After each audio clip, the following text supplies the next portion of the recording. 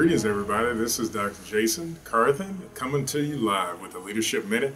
I'm excited to be with you today because I want to talk to you about upper echelon leadership. Now, I want to share some things about this because it's important to understand the concepts and to understand the role of the leader.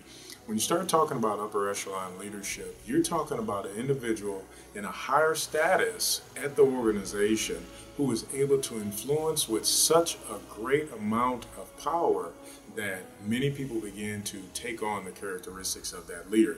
Now, a great example of that would be uh, someone who coached me in the past. Uh, many of you know I played in the National Football League, and I consider it a privilege. And one of the things that I had the opportunity to do was to play for the New England Patriots and had the opportunity to be under Coach Bill Parcells. Now, Bill Parcells was a no nonsense guy. He was a guy that wanted you to give your all on every play.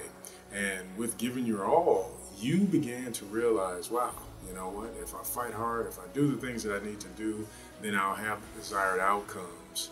But one of the components of upper echelon leadership calls for the follower to begin to act like, emulate, and carry out many of the personality traits that uh, that leader is demonstrating. So, one of the things that you want to be careful of, we talked a little bit about outcomes, positive outcomes. There's a potentiality for negative outcomes if you have a situation where that leader may be uh, engaging in behaviors that would not be positive for the organization in that way.